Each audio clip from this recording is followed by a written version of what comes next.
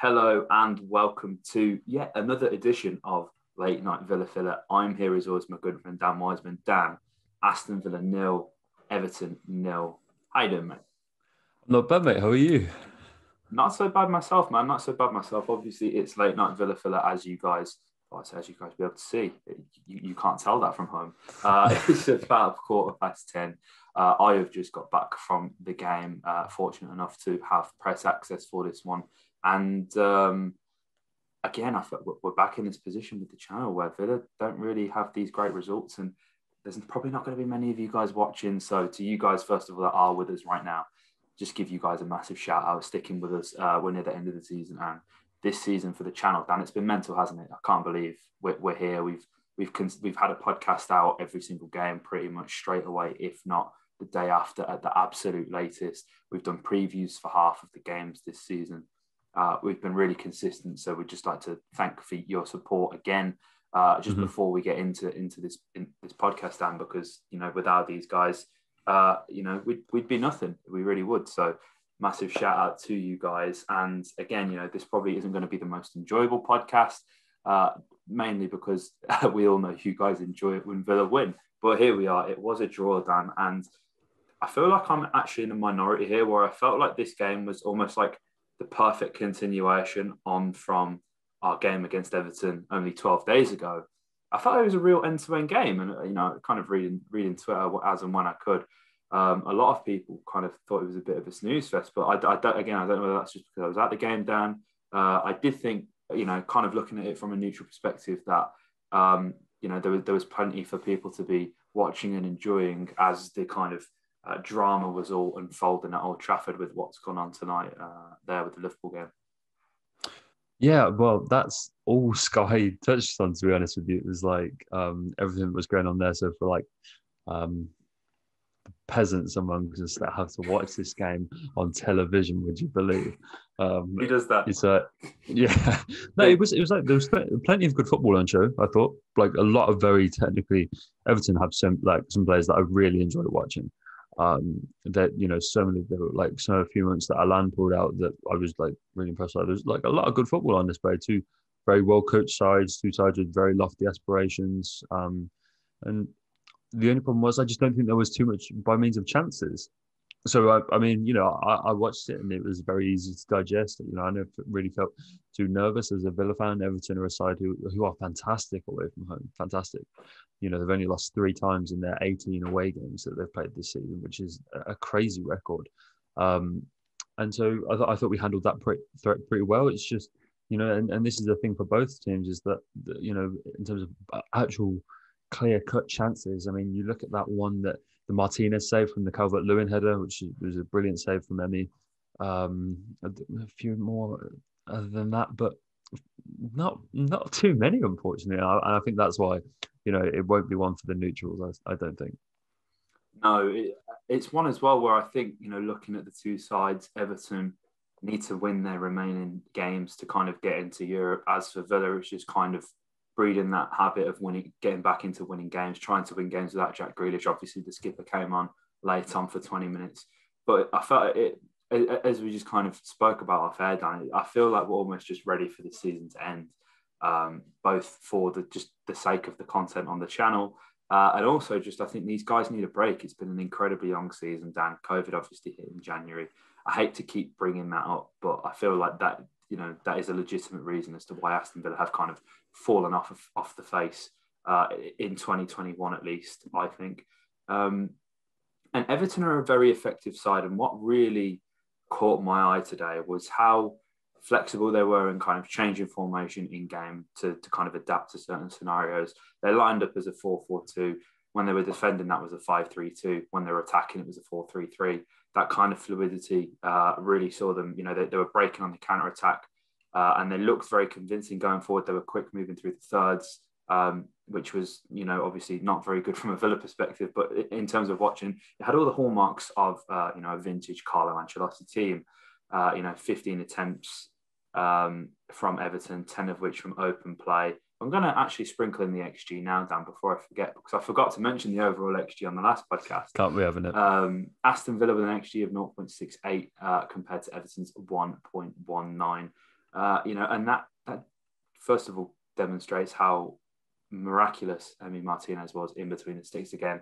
Some inspiring saves, as you alluded to earlier, Dan. He's now equalled Brad Friedel's clean sheet record at the club, which is, of course, a record that encompasses defenders too, as Ezri Konsa so proudly tweeted. We can't forget the defenders are also responsible for some of the clean sheets. Um, but I mean, what a feat that is, Dan. 15 clean sheets, three games left to go.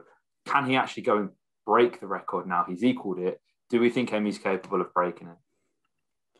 Yeah, I, I, think Emi is. Uh, I'm really happy for him, and that's probably you know the main talking point from this podcast, isn't it? Because it feels like he's been within touching distance of that uh, clean sheet record for some time now. But it's been you know seven or eight games now since we last kept a clean sheet, and you know just on a personal note, I'm I'm really happy for him and that back line, as as you rightly mentioned, mate, to, to finally get over that line because it has been a long time in the making. You know, it felt like in the first half of the season we had this really impenetrable defense, and it's become a bit leaky actually in the second half of the season. If anything, you know, the, a fair few sides have now picked holes in it, and so to shut out a side like Everton, who, as I say, do perform so well away from home, I mean, was was really good, and that 15th clean sheet is is very sizable and i mean you know you can't help but continue to reference the improvement on last season you know just as not just in the goals created but in so many other the shots faced in so many other different metrics the way that we've improved defensively is, is so noteworthy and i think that's there's always a silver lining to every game we like to think here on the villa Filler podcast and, and that one's a little bit more obvious isn't it Absolutely. I do think as well, just kind of generally all round, I think there were some good performances. Tyrone Mings made some very crucial blocks and interceptions during this game. Very good. John McGinn, as you know, as you tweeted from the account, Dan, and as I tweeted earlier as well, it really felt like we were seeing John McGinn back at his best. Uh, and you know, in, in Dean Smith's press conference, uh, can can we say he's friend of the pod? I've asked him a few questions in the presses. Can we say that? You guys I think so. Let's do it. Think, Dean Smith, friend of the podcast. Uh, you know, he was he was very keen to, to heap praise on McGinn, uh, and you know he he was very insistent that everybody at the club kind of knows his qualities. I hope the question. I mean, I asked about McGinn's. I, would referenced sort of poor performances in recent months. I hope it didn't come across the wrong way um, as a dig, but he was very clear uh, in reiterating how much you know how highly he's rated at the club uh, and how he's just kind of really been struggling in recent months to find the consistency. So hopefully, as we kind of see at the end of the season, we see a bit more of that from John. Uh, and another one, I mean, Dan, I'm actually going to take this completely away from the game, and and it's kind of just a frustration overall, just kind of off the pitch as we're kind of trying to see out the end of the season. Dan, is this is perfect time. Uh, this is the time we were really expecting to kind of see Morgan Sanson embed into the side. It's been very unfortunate. He's been out with his knee injury. I think he was back in training this week. Please correct me if I'm wrong, Dan, or people in the comments down below. Um, he's one that I think would have really benefited from this final season. Uh, you know, this final final stretch. I think mm-hmm. preseason is going to be a bit weird with COVID. You know, we had a Welsh preseason camp last time. Obviously, the season beforehand, we went to Minnesota and we had a very awesome trip there. So preseason is going to be a bit different for all of the players. So hopefully that will be enough time for you know the likes of Sanson, even you know to reference the, the three youngsters who were on the bench today: Chukwuemeka, Philogene Bidace, and of course Ramsey came on preseason is going to be massive for these kind of players, Dan, isn't it? Yeah, absolutely. I think we you kind of forget about Sanson sometimes, don't you? And and you know that's not it's, it's just because you sort of how new he is, how little he's sort of played in terms of starts and, and things like that. And that's a real. There's been a few games actually where I felt like he's going to be a really positive influence once he's back in the side and firing on all cylinders. He's going to feel like a new signing you know, once he eventually gets in better last season, such as, you know, the, the little extent that we've seen him play. And I think there's, especially in games like today, where there is more space in the midfield, where the midfield is operating at a fuller capacity, I think it's gone from being one of our real weaknesses just a sort of month or so ago, but the midfield has really tightened up in recent games. And I think, you know, McGinn's at the fore of that. I thought Douglas really made amends not that he particularly needed to for the penalty against Man United, but just on a personal level for him, he would have wanted to go out there today and put in a good performance, and I feel like he did that well. And you know, if you sort of just added Sanson to the mix, that as that that ball carrier, that sort of player that's perhaps a more can operate a little bit higher up. Perhaps has got a, one or two more penetrative passes in behind. He's perhaps a little bit more technical than the likes of of McGinn, and I feel like that's a really nice balance that you can start to create in that midfield. I did think we were going to see Nakamba today. That's something I touched on in my preview. I thought that um, you know one or two guys in that midfield probably deserved a rest, but we've gone with it. And when you consider how well Nakamba's done this season, how well Sanson looks like he can bed into that midfield, and then you've got the young lads coming through that you touched on. I mean, Carney can't be too far away from the first team. You know, he's going to be. There's so many teams that are offering him a spot. So many teams interested in that the services, and, and Villa need to be careful how they play their cards because he's going to feel like he's ready. I mean, you know, when you're scoring the amount of goals that he is and the amount of the goal contributions and his numbers in the youth league are, are just crazy you can only do that for so long without starting to feel like right i'm ready for the next step. And you know when you're playing under 23s the next step's the first team and, and he's on the bench and he's starting to become you know a regular face around the first team dressing room i hope. And so um, you'd like to think that we get him before the end of the season but the midfield's playing really well and and so um, it's just nice to have so many wealth of options and different ways that you can structure that. Absolutely and dan of course we have to mention it. Keinan van nistelrooy starting the game, who scored rating of 6.7.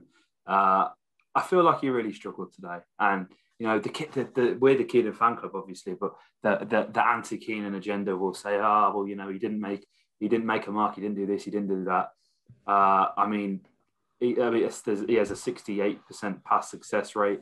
And, you know, something again that Dean did kind of touch on in his press conference after the game is, is Watkins is the kind of forward who's going to really, you know, go beyond press, uh, get get in behind defenses really, and to exploit that. Which you know, again, we saw that perfectly against Everton last time. He creates that chance himself by going hunting uh, with Mason Holgate. But Keinan is, is the kind of striker who does want the ball to feet, and of course, he can run the channels and he can put himself about a bit, which he didn't do a lot of tonight, to be perfectly honest. But it was always going to be tough. It was always going to be tough, and that Everton defence is.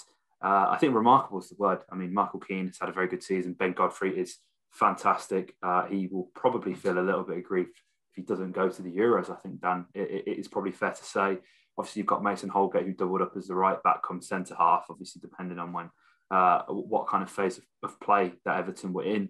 Um, it's unfortunate for Keinan. I feel like there's a big difference in being an impact sub and actually starting and, and kind of consistently performing. You know, Keinan's come on in games where, yes, it's been high pressure, and yes, Villa have been chasing games, but he's come on in a situation where Villa are actually creating a lot of chances. He's getting in, in and around the box. Uh, we saw it against West Brom where he got his goal. Uh, and, you know, this isn't me making excuses for him. Of course, I would have liked to have seen Keinan have a larger impact on this game. Um, but, you know, Villa didn't, you know, they created 10 chances um, throughout this game. You know, the XG is reflective of, of Villa not really having too many opportunities to score. I mean, other than late on, Mings had a very good opportunity at the back post. Grealish set him up. Uh, at the death, could have nicked it, but again, can't be too critical there either. Um, overall, you know, it's just one of them, in it, Dan? It's it's a draw. These results happen, and uh, you know, we I think we have got Crystal Palace next. Am I right, Dan? On Sunday. Um, mm-hmm. So you know, again, that's going to be a game where looking, we've still got Chelsea to play. Um, we still have who else do we have? Dan Chelsea. That's um, just Chelsea and Palace, I believe. No, Chelsea, oh well, there we go. That's how quickly it's gone. Um, you know, you're looking. You, you, want to try and get another three points, don't you? Um, so hopefully, you know, on the road, I mean, both sides are safe. Obviously, the relegation spots have all been confirmed, so they're you know maybe pressure off for Crystal Palace. Could see them perform. So you know, it, it's always going to be a difficult game, Dan. Um, but I think tonight, just to kind of before we wrap it up, it, it, it's just one of them ones, isn't it, Dan? I feel like you know, again, I, I, hate to, I hate to have to constantly bring this up, where I don't think I've seen any sort of abuse tonight, but don't abuse the players. Like it's, it's just one of them games, isn't it? Yeah, absolutely, mate. And you know, when you look at the points tally, is now sat very respectedly at 49 points, uh, which is our best return in the Premier League in 11 years. Um, in 2010-11, we amassed uh, 48, and you know we've still got a few games to play, and so um, I think there's plenty of stuff to to look forward to. You know, McGinn being back at his best. That point tally's looking good. Emi got that clean sheet. You know, better performance than than we've seen in recent weeks. And I think you have to give the players credit because Everton have a lot to play for. Like that game meant a lot more to them than us. And I felt like we matched them for intensity and for effort. And when you're sort of having to do that consciously, you know, like in most games, you sort of subconsciously go that extra mile, you know, put that extra sprint in and, and those sort of things, which can swing a game when it's so tight as, as it was today. Matching a side who are, you know, desperately needing, you know, I, I always before a game, the, one of the things I always do is just sort of bang the you know the, the opposition's hashtag in on Twitter, just see what the fans are saying. It sort of gives like just get their side and things because you know they know more about opposition than anyone. And one I saw a few Everton fans there his tweet which was getting loads of retweet and loads of like calling it their biggest game of the season because of what it meant in their European title challenge. You know, getting one back over on us, their away form as well. They now sit, you know, they were in eighth. They could have gone as high as sixth if they won today. And I don't feel like it necessarily felt like we didn't have anything to play for. I felt like we matched them in that regard, and I, I think that actually is quite commendable. Um, and so I think that's definitely something you can take away from today is, is seeing the Villa players rise to the occasion like that. Absolutely, mate. And you know, listen again. It's it's a game Villa didn't lose. It's a game where we kept a clean sheet. It's a game where we've seen the return of our captain, and it's a game where we're seeing the better of some of our players. And I think that's a good note to end this on, Dan, really. Uh, it will be a quick turnaround with the preview. I'll hopefully get that out tomorrow after work. Um, and hopefully, you know, again, it's a, it's a short turnaround with the podcast. I don't expect many of you guys to listen to this, but to everyone that has, uh, I'd just like to give you a massive thank you in advance. And if you haven't already, please subscribe because there's about 55% of you guys who watch these podcasts that aren't subscribed. So, I mean, do it. Why not? Let's see how many subscribers we can get before the end of the season. We're so close to 4.1k actually, Dan. I believe we're about 20 subscribers mm-hmm. off. So if even a fraction of the people that aren't subscribed subscribe who've watched this video, then we'll be well on our way to hitting our targets before the summer. So yeah, if you enjoyed the podcast, hit the like button, comment your thoughts below on your man the match. As always, we're really intrigued to know. Even if we don't always get to reply, we always read through your comments. It truly means the most. Uh, and subscribe if you're not already. Up the Villa.